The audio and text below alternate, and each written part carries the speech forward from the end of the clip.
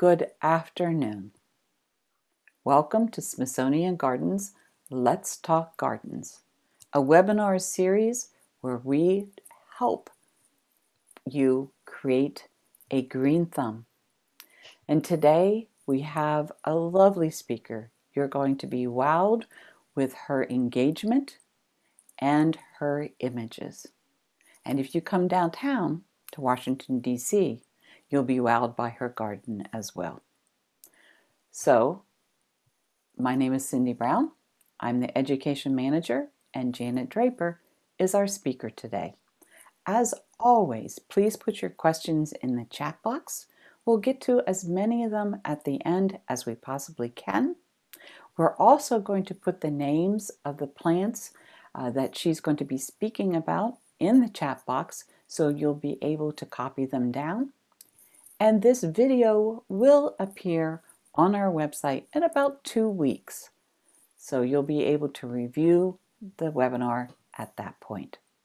So Janet Draper, horticulturist who is tending the Mary Livingston Ripley Garden at Smithsonian Gardens, will you engage us with your dozen of wonderful plants that you include in your garden?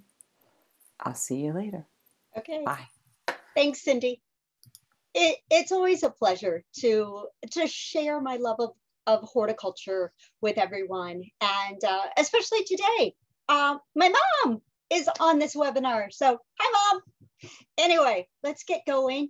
Um, for those of you that don't know the Ripley Garden, uh, it is a tiny little third of an acre space wedged between the Arts and Industries building and the Hirshhorn Museum, right on the National Mall. And this is a fantastic space. And I feel like I'm the luckiest of all the gardeners at Smithsonian because it's got raised beds and meandering, a little brick meandering pathway and just little vignettes. And it's a stroll garden where people you know, they take their time and they look at the individual plants.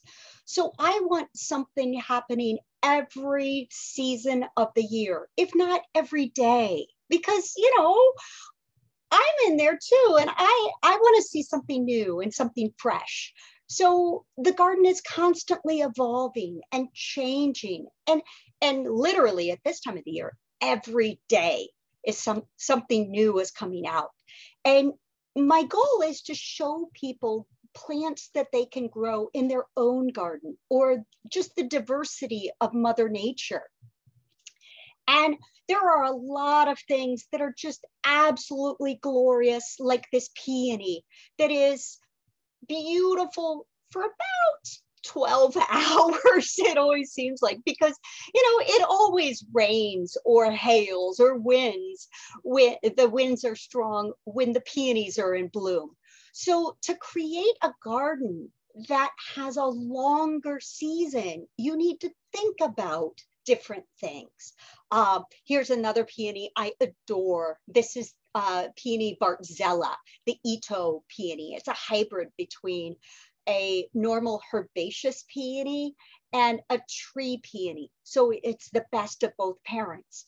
But again, it only blooms for maybe a week.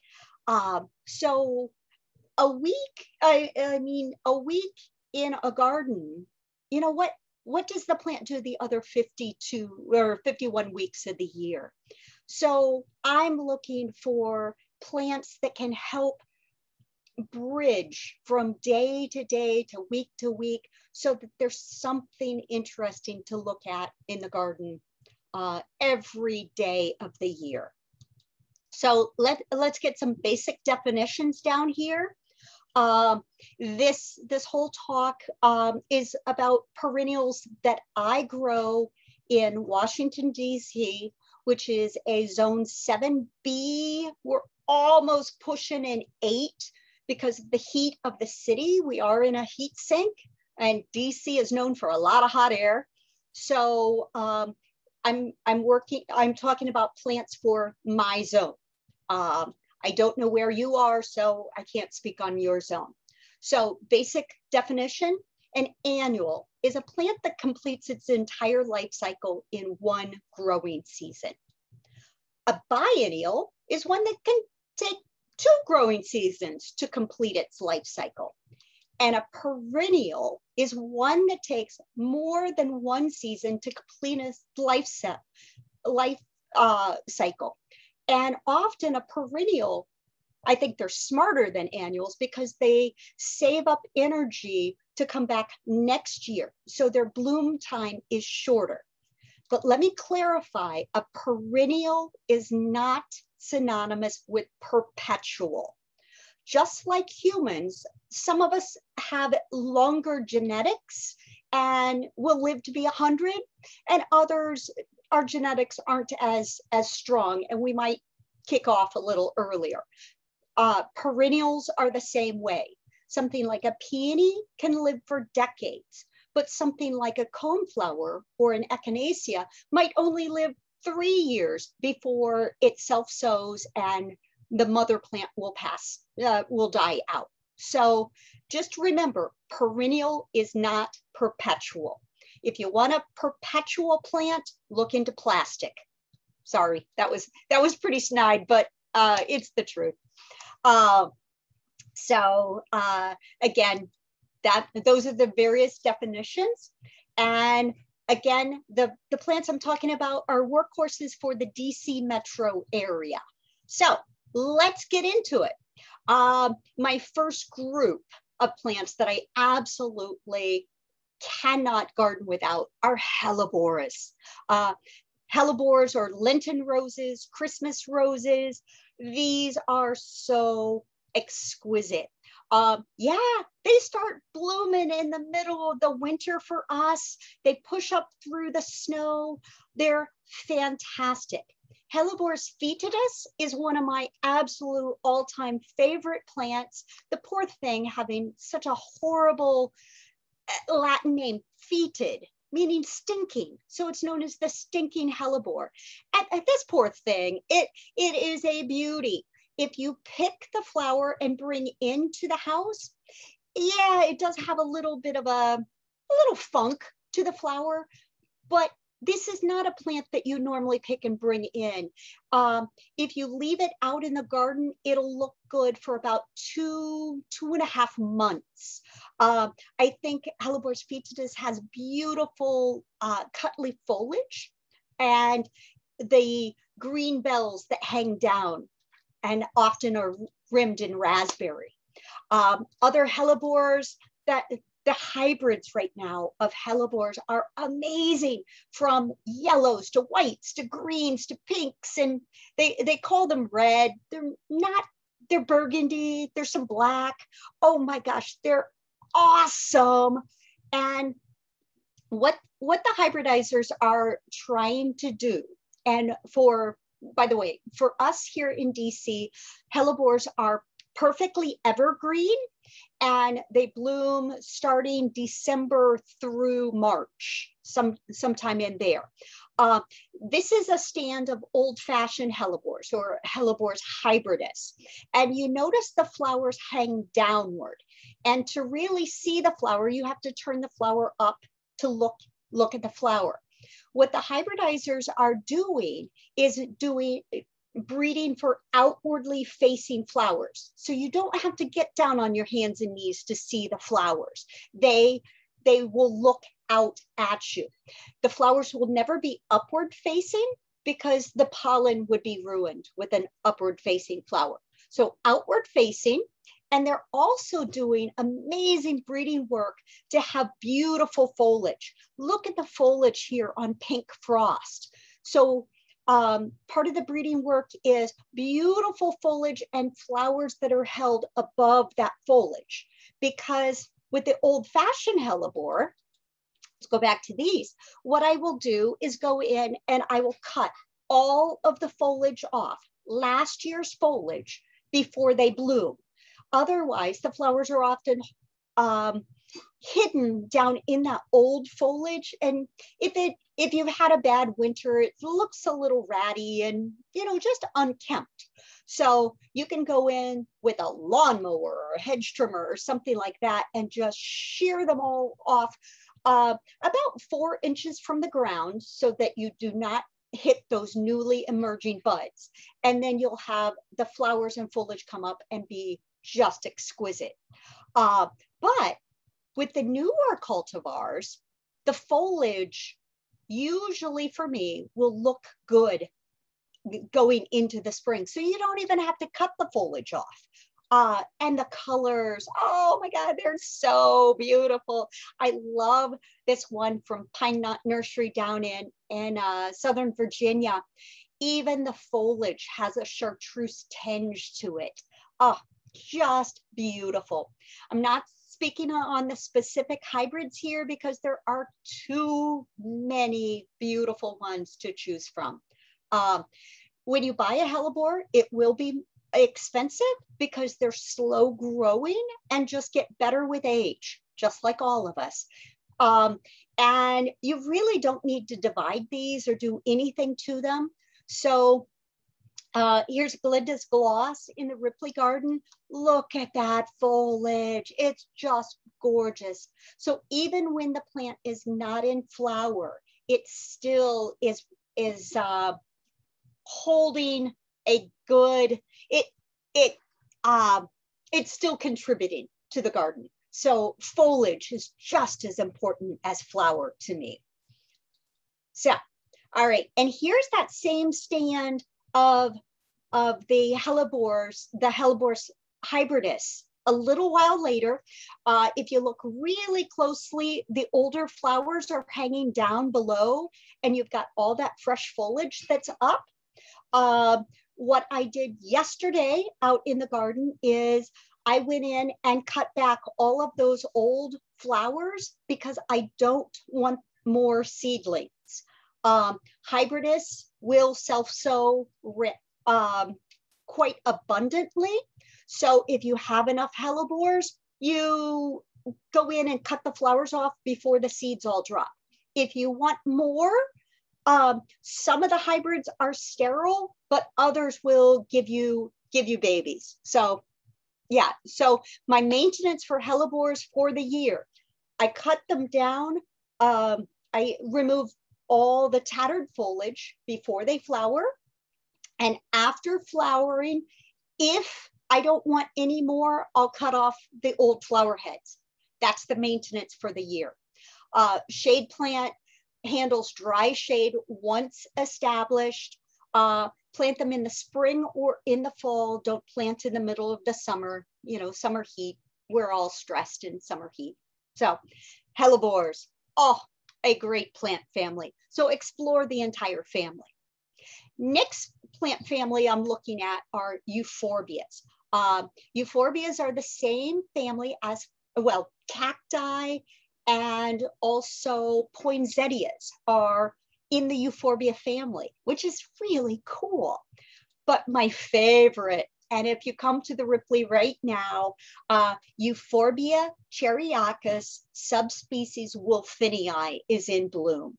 It's a Mediterranean plant that thus, you know, um, general rule of thumb with, with plants, if they have silvery gray foliage, they're coming from an area with a lot of sun. And so that's like Mother Nature's sunscreen, where the plant doesn't need all of that sun, so it reflects part of it off. So silver gray usually will tell you this plant wants full sun and it wants well-drained soils. So Euphorbia wulfenii, I mean, those, those heads, uh, they're actually modified leaves and bracts, um, they can be the size of my head. They're just so cool. Here's another euphorbia used by my colleague Rick Schilling in front of the castle. This is euphorbia ruby glow, which has, it's a little daintier. Uh, you know, Rick, Rick is a little more conservative than, than I am. I go for the big and buxom and he goes for more, more reserved. But if you look closely, what you're seeing there is a modified leaf, just like a poinsettia bract. It's not an, the actual flower, that's a modified leaf. And the flower is this tiny little thing in the middle. Um, and I'm pretty sure that euphorbias are pollinated by bees, uh, not bees, I'm sorry. um, they're pollinated by flies. Um, so don't be disgusted by that, but uh, they're, they're just absolutely wonderful. So full sun, well-drained soils, um, and for, and there's, there's another close-up of the bract. And you see here, that is a seed pod, this little round thing. And the one thing to know about Wulfenii, Euphorbia wulfenii, uh, it does produce viable seed. And the seed distribution method on Euphorbia is the seed will literally explode to, to spread the seed, which is so awesome. I mean, Mother Nature, the way the way these these mechanisms to spread the seed and regenerate yourself, so amazing. However, with just knowing knowing that the seed will will explode like that is important to know because if you want to want more in your garden and you just want them to go loosey goosey, go ahead, let the seeds explode and you'll have them uh, quite a few. However, you will have a garden with a lot of euphorbias.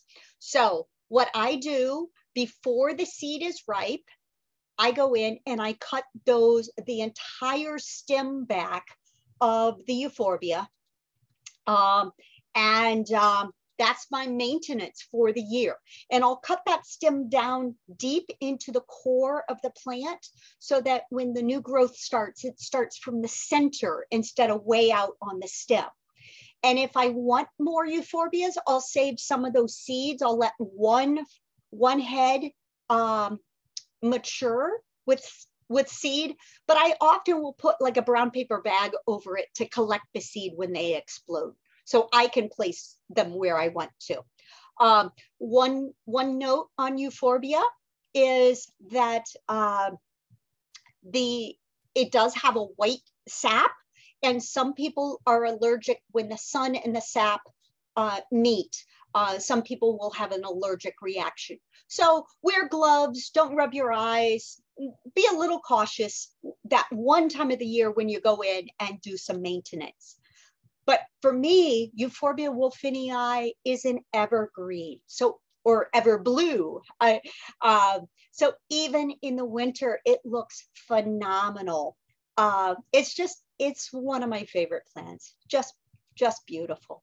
So moving, moving on, and I'm I'm running through these very rapidly.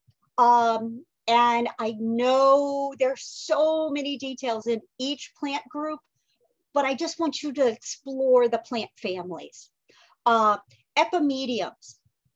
Uh, I can't even remember what the Latin, uh, the common name is. Barrenwort, I think, which means nothing to me.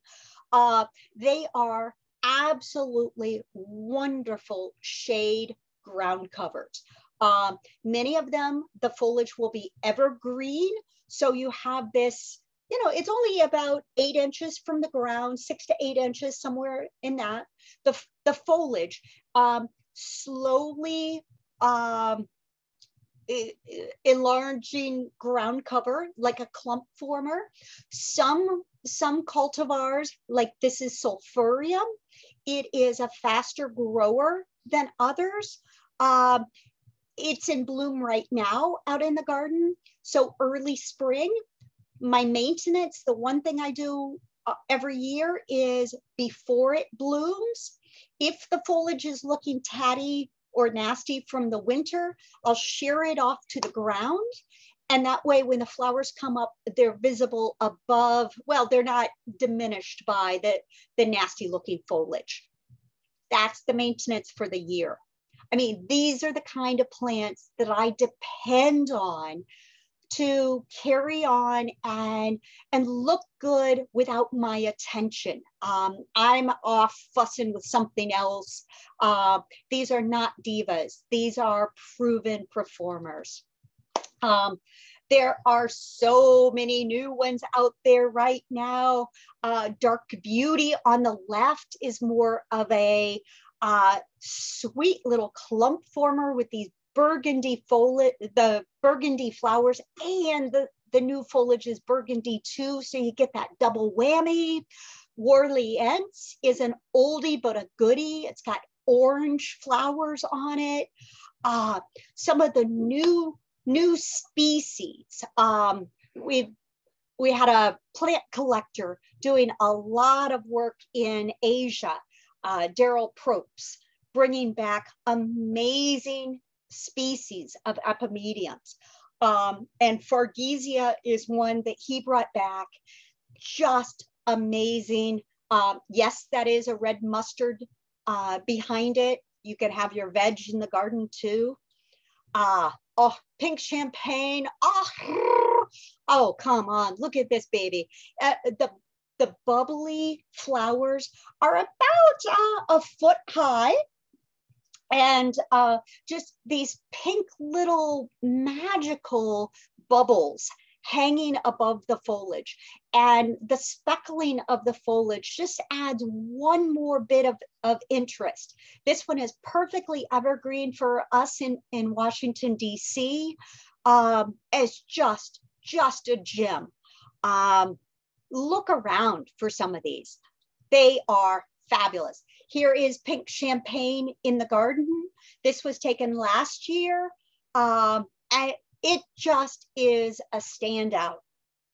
They might be a little expensive to buy your first bit, but they will grow relatively rapid, rapidly if you give them good garden soil. I mean, just like all of us. I mean, we grow better when we're in a good, happy, happy home. So rich organic soil, dappled shade, they can in in other climates. I've seen them growing in full sun but really they'd be happier in a little dappled sun. And uh, they'll they'll just uh, perform like crazy for you. So what else? Oh domino. Oh you know i think i threw in some extra epimediums because i'm so enamored with them uh, i mean just as a great uh, plant blooming in the early spring uh, complementing all your tulips and things like that. They're they're just fantastic. So anyway, oh, and some more. all right, another plant group I absolutely love. This is a Native American Baptisia. And the plant we're looking at is right in there. That's Baptisia purple smoke. So you see the time of the year is April. Uh, that's that's what's happening out in the garden right now, um, or the tulips and things. This was taken last year. So baptisias should be shooting up and getting ready to bloom. And when they unfurl, oh, lovely, lovely blue flowers is, is one of our natives. Um, and it is in the pea family. So it is a true legume. So it creates its own nitrogen. It fixes its own nitrogen but um, there have been a lot of you know the resurgence and the the embracing finally of our native plants um, uh, baptisias have really come into the fold uh, my friend tony avent down in raleigh north carolina calls them redneck lupins um, because in our heat and humidity in DC and further south of us, you can't grow a lupin. I mean, we all, except in the Texas lupins, which is a totally separate thing.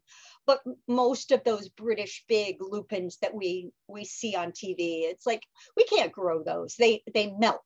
However, baptisias are a great alternative but our native species often are quite good size. Like this purple smoke, um, a selection, it was one of the earliest selections made of Baptisia australis.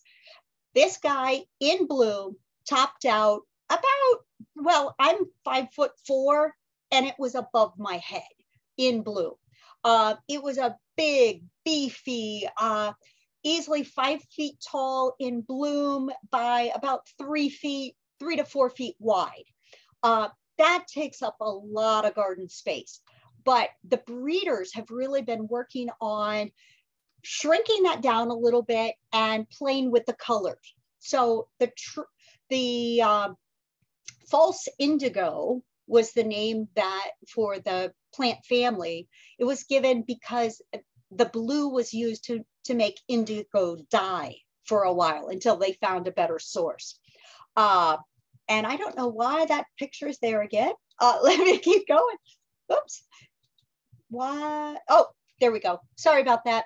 Um, the breeders have been playing around and coming up with new strains. Like this is lemon meringue, uh, and it's up on a hill, so it looks much bigger, but it it's only about three and a half feet tall by two feet wide. Uh, this is the work of Hans Hansen. Uh, and here's a species. This is at my home. This is Baptisia sphaerocarpa uh, screaming yellow, and it is a screaming yellow, but it is so beautiful. Blue gray foliage, uh, golden yellow flowers on on top. Comes true from seed, um, so you you can collect seed, and this is what the seed pod you would look for, and when these these dry, they'll be black, and the they'll rattle like a baby's rattle. And I, I read somewhere that some Native Americans use this as a baby rattle for their children. I don't know if that's true or not. But what does happen in, in the wild, these are like tumbleweeds. In the fall, the entire plant will just sort of cleave off from the ground. And as the wind blows, the whole plant rolls like a tumbleweed. And as it hits the ground, it's dispensing those seeds. So again, nature is so cool on how they move, move the seed around. But uh, a little bit of care and culture for a Baptisia. It wants full sun. This baby is coming from the Midwest prairies uh, all the way down into Texas. Some of the, the white forms are down in Texas uh, full, full sun, good soil. It really, clay soil, it will adapt to, but it, it prefers more organic soil. But the one thing to know, Baptisias put roots down. They get settled in. So plant them where you want them. Don't, don't expect to, to plant it in an area and then dig it up and move it once it gets more established. Um, they really, really resent being moved. And uh, your back will thank you for planting it in the right place to begin with. Um, they will be small when you purchase them in a container. They they just they look like a, a tiny little spindly thing. Uh, but no, they will grow and they'll they're worth it. So they get better with age. Ah, let's see what else we've got. Amsonia, Amsonia hubrichtii, another Native American plant. Uh, this one, it um, blooms in early spring, and this is another plant that you want to plant it where it will, you want it to be. Do not try and move these. Tap root, oh, I've broken numerous shovels trying to move these shovels and axes are required.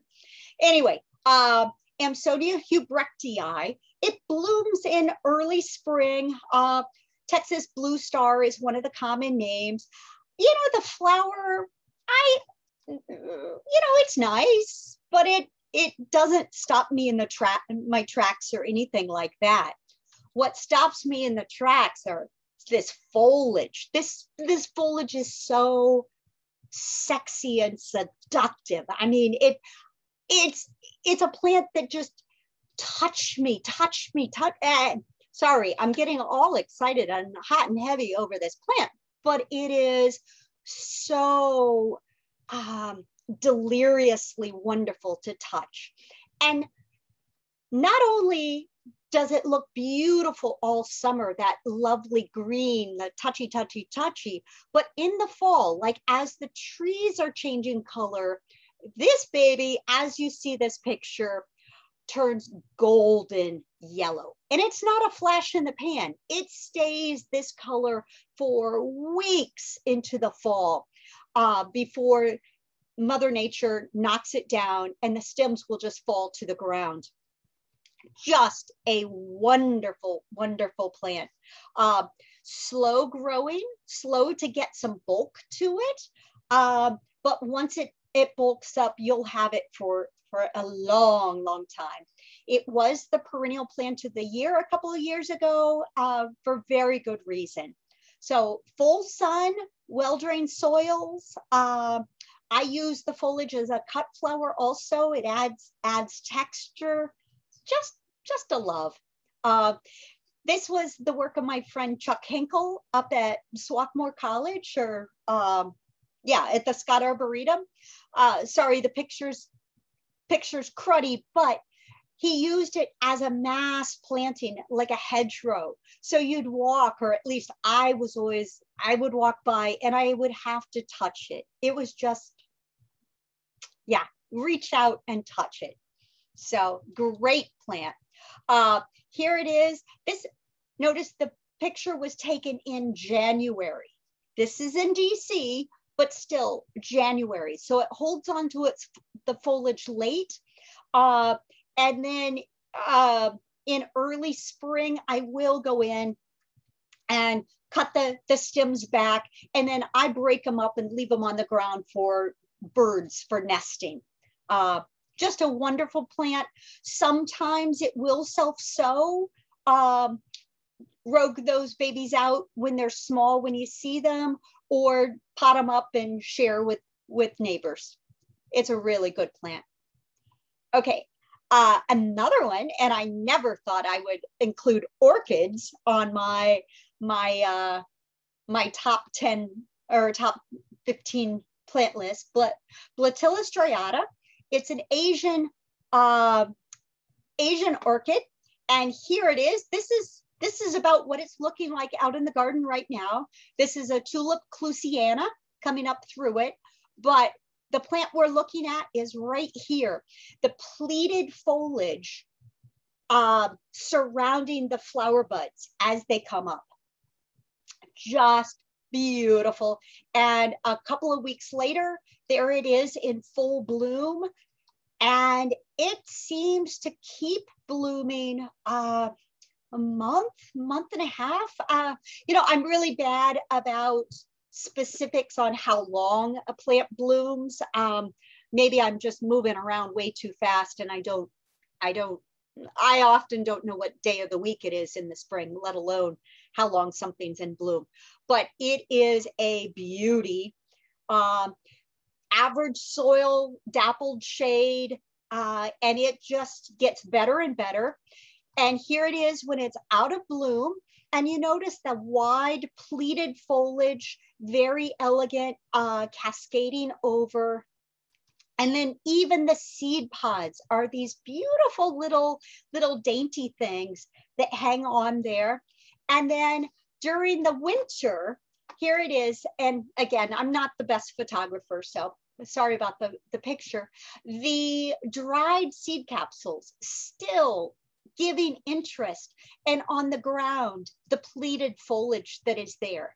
Again, I I leave as much as I can on the ground for the birds to nest with. Um, and they have picked this clean. They seem to like it. I uh, cut it up in smaller bits for them. So Bletilla striata, uh, just a lovely Asian native uh, orchid, but plays well with others. Uh, my maintenance for it, once a year, I cut it to the ground, those, those stalks, and that's it. I mean, these are the kind of, I mean, I'm basically a lazy gardener. Uh, I do not like divas in the garden, those that I have to fuss over. Um, so I rely on things like Bletilla to uh, give a lot of interest. All right, and, and you might be surprised seeing yucca in my list of top plants. Uh, yuccas get a bad rap because they're so overused, but that's usually because they're poorly used. Uh, this is the yucca I grew up with in Indiana, yucca filamentosa. And you, you see where the name comes from, that those filaments on the side. It's, um, it's a really great full sun, hot and dry plant. When it blooms, it is exquisite. I mean, those flower stalks are up to eight feet tall and very fragrant flowers, just a gem. Um, and with age, it sends up side pups. Uh, the parent plant, once it blooms, the that individual will uh, pass on usually, but it sends up side shoots. So it it's self-regenerating. Really, really cool. Uh, and here is Yucca Color Guard. This is uh, the work of one of my colleagues over in the Hirshhorn Museum. This is Sarah's work. Uh, beautiful accent. Um, really that foliage plant, just the structure and color and form, it really um, just grounds the entire display. Uh, yucca color guard is a great plant, full sun, hot and dry. Um, if there are people that cut through your garden beds, uh, is a good plant to plant there defensively to kind of tell them, don't don't walk through here. Uh, and then even during the winter, on color guard, the colors intensify as the temperatures drop. Again, adding structure and form even during the slower seasons. Really a great plant. And look into other members of the yucca family. Uh, this is yucca rostrata. I love yucca rostrata. And, you know, if you come down to the garden, you'll see I I planted quite a few of them. They were small little babies when I got them. They were uh, like three gallon containers, and now they're they're taller and and wider than me. Um, but they're just awesome. Uh, every single month of the year, they look great, and they just continue to put on a, a great show with wonderful texture. So look into to yuccas. Uh, they're just great plants. And yep, I think my next plant is right here in front. Uh, this is Salvia Berggarten. Salvia officinalis, which is the salvia that, that is used for cooking. It's um, the cooking sage. Uh, but this selection, Salvia Berggarten, has much wider foliage. Uh, that foliage is about, I don't know, two and a half to three inches across by four inches long. Uh, it's just a really beautiful silvery gray mounding habit. Uh, that's maybe a foot and a half tall by two feet wide. Um, I've let it get a little little wider, but you control that with your pruners. Um, so it's just a lovely thing. I've never seen it bloom. It's really grown for the foliage. And again, being silvery gray, it wants full sun, uh, well-drained soil, hot and dry location. A lovely, lovely addition. Look at that. It's felty, it's fuzzy, it wants you to touch it. And then you could cook with it too. So perfect evergreen for me. Allium millennium. Oh, Allium uh, millennium uh, was, well, it was supposed to be introduced in 2000, but it, it uh, sort of missed the mark a little bit. Uh, it was introduced in 2001. Uh, this was the plant of the year a few years back. It is an ornamental onion. Um, but if, if any of you have grown chives, which is a blooming machine. However, it also produces seed like a blooming machine, and you will have a garden only of chives. Uh, Allium millennium is pretty much sterile. There have been a few seedlings, but for the most part, it is a sterile plant that just, it's, um, eight to 10 inches tall, little, little bubbles of uh, champagne bubbles of flowers on the top that the bees absolutely adore. Uh, it, it does have like a rhizom rhizomatous root system. So not a bulb, but you can easily divide it and spread it that way. Um, very, very sweet plant, wonderful. Uh, there are lots of new ones on the market also. Uh, other, other cultivars that are also sterile.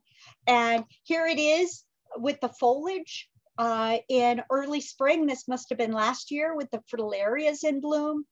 Uh, so it would be probably March, I mean, um, early April. And um, I do have a rabbit in the in the Ripley garden, a very well fed one. Um, and I have noticed that he or she uh, seems to really like the allium. Um, so wonderful plant. Um, maintenance on it, uh, pretty pretty minimal. It dies to the ground and comes back up in the spring, and I do nothing. I don't. Well, I might deadhead a little bit uh, after it's finished blooming, just just because I'm a little meticulous that way. Um, but it is not necessary. Here it is in the garden uh, with some larkspur and coneflowers and Verbena bonariensis and Santolina. It's just a, a really good um, long blooming perennial uh, that just is a really nice uh, partner with other perennials. There, here it is used over at American History very nicely by other colleagues of mine, mixed in with Nassella tenuissima. So that that feather reed grass um, or ponytail grass and the allium, perfect, perfect match. Full sun, uh, well-drained soils. Here it is again, next to one of my other favorite plants. This is Calamintha, uh, right beside it. And it is the current perennial plant of the year. And for good reason, it is a blooming machine. Uh, look for the cultivar White Cloud or Montrose White. And let's see if this works for months during the summer. This thing is just moving. The whole plant will be buzzing with honeybees and little, little hover bees and all kinds of things, nectaring on this. It is not a native, but it is providing so much food for our native bees. Uh, it is just an absolute delight. The, the foliage, as you see, is tiny and minty, uh, but don't let the word mint scare you. It does not spread and take over the neighborhood by runners. It's a clump former. Um, and if you run your hand over it, you get this minty fragrance. Um, what else can I say about it? At the end of the season, uh, you have these brown stems that are there that during the winter, oops, I didn't mean to start that again. Uh, during during the winter, uh, those little brown stems stay upright and they catch the snow like, like little fairy caps. Um, and in the spring, I just cut it to the ground and break up the stems and leave them on the ground for, again, uh, return to the earth and nesting material. So Calamintha, white cloud. Um, there is uh, a Calamintha on the market that has fuzzy foliage uh, that will self-sow like crazy. So you want a calamintha that uh, feel the foliage. Uh, and if it's got a lot of fuzz on it, pass on that one and look for the cultivar white cloud or montrose white. So anyway, great, great plant. And we're, we're getting near the end of the season, like the calaminthas are blooming in the middle of the summer, same with the alliums. And to extend the season out, the hardy chrysanthemums, not those chrysanthemums you you you know that are sold in the fall, those little gump, gumpo things. Hardy chrysanthemums. Uh, Jessamine Moonlight is one of my absolute favorite favorite plants. This pale pale lemon yellow. Uh, this is probably in November. It's starting to bloom. Uh, this is even later because uh, the the fountain is decorated for Christmas, and I don't do that. And well, I never get around to it until um, ah, it's probably sometime in December. And this this baby is still blooming. And I'm sorry, my pronunciation is always wrong on this plant name, but it is it is absolutely a glorious one. And there are many other hardy chrysanthemums that also bloom very, very late. Uh, maintenance on it, uh, you want to give it a hack back, you know, like cut it back by half before 4th of July. And that'll give a denser plant. It might delay blooming for a week or two, but it won't be as tall and leggy. Um, most chrysanthemums will spread and cover some some territory. Um, but all you have to do is uh, you know chop off anything extra and share with your neighbors. Uh, so it's a great great plant. And i would be remiss if i did not include grasses with in the garden uh, Hakonechloa macroaureola is uh, Japanese Hakone grass. Here it is here. And the reason why I love grasses is they add texture and, and just movement. And, and with the Hakone grass, even color. Um, this is a shade lover or partial shade lover. So, you know, most perennials in the shade will bloom in the early spring and the rest of the summer is pretty much just the foliage. So the Hakone grass really helps brighten a shady condition and add interest. Uh, so here's Hakonechloa macro areola, and there's one of our epimediums there also. Um, just a lovely plant.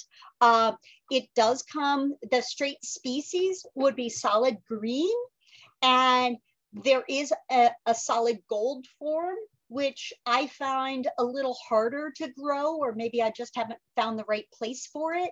It likes uh, moist organic soil uh, versus Hakonechloa macroaureola, the golden form, or the, the variegated form. Uh, I'm growing this under American elms. So dry, root infested, um, you know, it takes it a little bit to get established, but once it's established, it's very happy. Uh, and here it is during the winter. It turns this tawny golden color during the winter. And I leave it up all winter to add more interest. It adds a little sound and movement also when the wind blows through it. And then I just cut it down to the ground. I use a machete and cut it down to the ground in early spring. Uh, before the bulbs come up. Here it is in the winter. I mean, isn't that so much better than just bare ground? Uh, and the texture when it's frozen, oh, so cool. Yeah, and I guess I don't have a, a, a picture, I didn't include it. Uh, I pair this often with many species tulips, the little clusianas. So uh, it's cut back, the tulips come up, they're blooming as the new growth of the Hakonechloa starts coming up. So, so you have that variegated foliage coming up with your tulips. Um, you know, they, they have to duke it out a little bit, but they usually uh, work it out. So another grass-like plant that I really love, carex. Carex, um, there we have lots of, of native carex and we have a lot of Asian uh, carex. Uh, some of the cultivars are just glorious. Carex everillo is this golden yellow color. Everest with the green and white and Oshimensis over here on the right hand side. Uh, can't remember the cultivar in and my little box, my face is over the name. But whatever, whichever one you choose, they're all wonderful.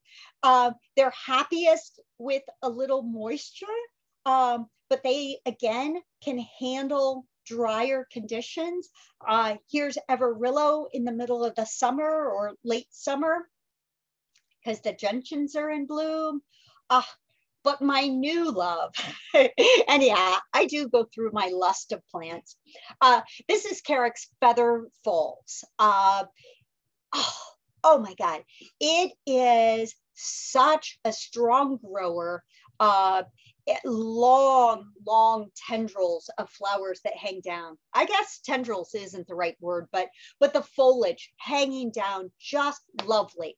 Uh, the first year I had this, I left it out in a container in the garden, and we had a a relatively uh, mild winter, but still, it was in a container, exposed, not a brown tip on it. The thing looked glorious. And you can tell in this picture, that is a beefcake. This is a strongly growing plant. Um, looks wonderful in containers or in the ground. Uh, I have it both places. So anyway, that was a whirlwind trip through some of my favorite plants. Uh, but I invite you down to see the plants in the in the garden. Uh, if you're local, please come down. The Ripley Garden is open 24 hours a day. Just mask up and come on down. Um, I try and label everything in the garden so that you can learn. Uh, we here at Smithsonian Gardens were accredited as a museum also. So the learning happens both out in our garden spaces and in those things called museums, which I rarely step into, but uh, come on down.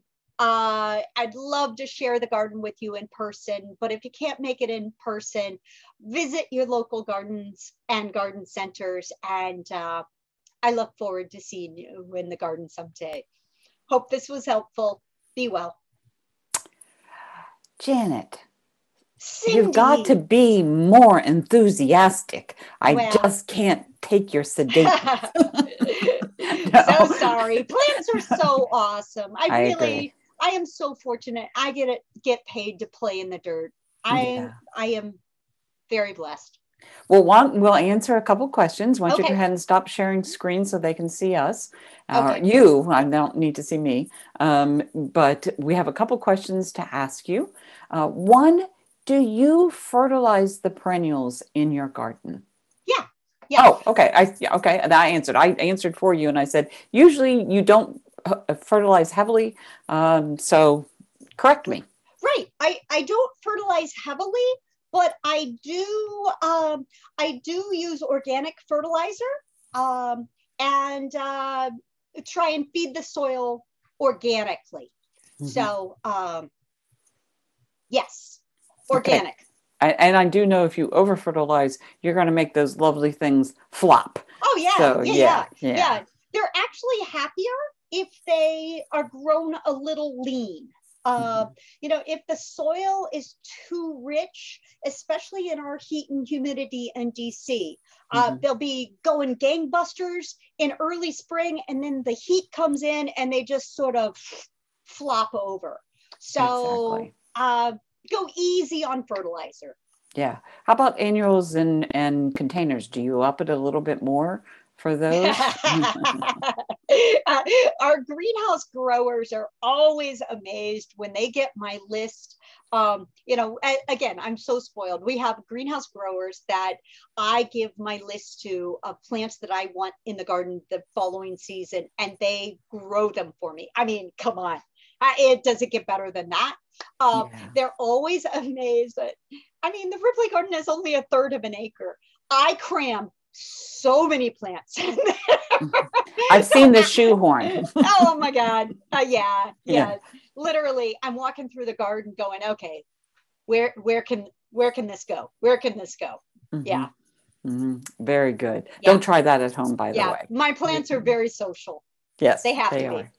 Um, How about someone asked, and I recognized it as a geranium, but I didn't know the species. The lovely little hardy geranium underneath the Bletilla, the shot for the winter. Yeah. What what's the species or cultivar?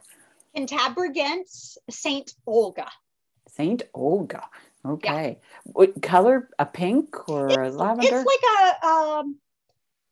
It's it's a pale pale pink to white. It's she. It depends on what color is with her. What color comes out, but okay. pale pink, I would say. Yeah, it's a wonderful ground cover. Sweet. I have many, and I know you have many different hardy geraniums in the garden, so mm-hmm. they're they're yeah. lovely to include. Um, so there, I just saw another one pop up. The peonies. What do you uh, work around? Okay, what do you plant near peonies for fall winter interest and to hide any bald spots when they die back in the fall? Oh well, um, next to one of my peonies, I have a wonderful fall fall blooming chrysanthemum. Um, other peonies, oh my gosh, what do I have next to them? Uh, next to Bartzella, oh, oh it changes every year. Um, yeah. Um, I'm sorry, I'm drawing a blank on that right now. Um, but the main main thing is um, when you're going to a garden center and it's so easy to have a good spring garden it's it's it's easy everything looks mm-hmm. fresh and clean and and but think about all four seasons and think about evergreens like mm-hmm. like that wonderful um salvia Berggarten is an evergreen you could put that right next to your peonies and and that looks really really good when your peonies start looking mm, not so good mm-hmm. Mm-hmm. Yeah, I agree. And you didn't show Lily of the Valley, but uh, uh, yeah, I, I have it in mind because enough. oh, I had to. But the the person that's asking the question is, how do you keep it in check? And she's right. Uh, you do some of the plants that we grow. You have to be a little bit firm with them, and I've seen you do it too. Get in there with that shovel and chunk things out, and just say, yeah give it to someone else yeah. and do that. So it is work. There's a reason uh, we're professionals and we can get yeah. a job and work all the time. Yeah. Because there's that much work always. Yeah. The Ripley Garden is not a low maintenance garden. Um, you know, uh, there might, I rely on a lot of plants that don't need a lot of attention, but because there are so many plants in there, um, it, my days are full filled and it is a full-time job and i so look forward to having my volunteers back this year to help help with the load.